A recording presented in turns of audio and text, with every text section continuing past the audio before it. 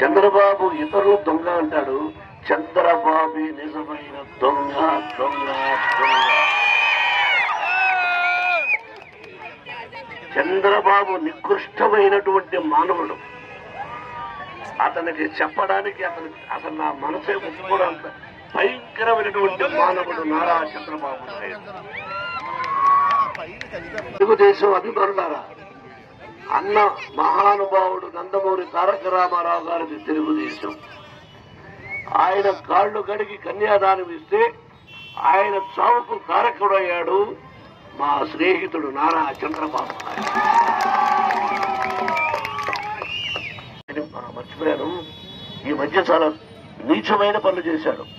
ఇప్పుడు తన దగ్గర ఒక పనికి మాలిన వ్యధవలను వెధవలను కొంతమందిని పెట్టుకొని రాజశేఖర రెడ్డి గారిని నానా మాటలు అంటున్నాడు. ఒరే అది చంద్రబాబు నీ నోరా?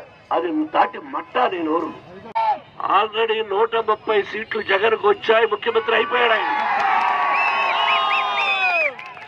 వాస్తవం వాస్తవం వసతి చెలించి అతను అతని ఇంట్లో ఉండే మనుషుడు భాష కూడా తెలియదే బాబు మీరు చూస్తుంటారు. ఇప్పుడు భీమవరం అనమన్నాం అనుకోండి భీమవరం వ్యవహారం వ్యవహారం అంటాడు. ఎట్లయ్యా? వాళ్ళు మంత్రులా? వాళ్ళకు పదవులు ఇచ్చావా? వాళ్ళకు అది మంచి ఇదే తప్ప వేరేది లేదు. అతను ఏం చేస్తానని చెప్పాడో అన్నీ మర్చిపోయి ఎలక్షన్స్ ముందు డ్వాక్రా మహిళలు అన్నాడు ఏమయ్యా? నాలుగున్నర సంవత్సరాలు గుర్తురాంది ఎలక్షన్ ముందు డబ్బులు ఇస్తావా? ఆడపడుచులకు మోసం చేయడానికి. మనం కేక వేస్తే పరికి దగ్గరుండే శ్రీనివాసు కావాలనా? ఎక్కడి నుంచో వచ్చి ఓట్లు అడిగేవాడు కావాలనా? వద్దు. ఆల్రెడీ మీరు ఆల్రెడీ మీరు ఒక కులంతో చేసి మోసపోయి కోట్లు నష్టపోయారు సోదరులారా. మోసపో ఆయన అంటాడు మమ్మల్ని అందరూ వలస పక్షులు అన్నాడు. వలస పక్షులు అంట అతనేం పక్షి? అతను భయపడి అతను అత రాబందు కరెక్ట్గా చెప్పాను కరెక్ట్గా చెప్పాను రాబందు అంట. చూడు నన్ను జగన్ని మేమందరం వలస పక్షులు అంట. ఇంకొక మాట అన్నాడు ఆయన. సినిమా యాక్టర్స్ తోక కత్తరిస్తాను జాగ్రత్త అన్నాడు. రేపు పిచ్చవాడ మహానుభావుడు ఎన్టీ రామారావు గారు. సినిమా యాక్టర్ ఆయనరా తెలుగుదేశాన్ని పెట్టింది.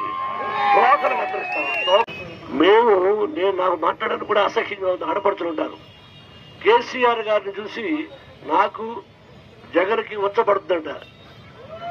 ఆ పదమా నచ్చయ్య నీకు ఉచ్చ పడింది కాబట్టి రాత్రికి రాత్రి పారిపోయి వచ్చేసా. ఓటుకు నోటు కేసు. ఓటుకు నోటు కేసులో పారిపోయి వచ్చేసావు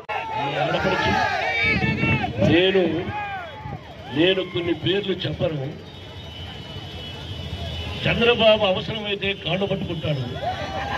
ఆ చంద్రబాబు ప్రశ్నించాడు ఒక వ్యక్తి నువ్వు చెడ్డవాడివేని. మళ్ళీ చంద్రబాబు ఆ మనిషికి అడ్డదారిలో డబ్బులు ఇచ్చేశాడు. అది ఎవరో మీకే తెలుసు.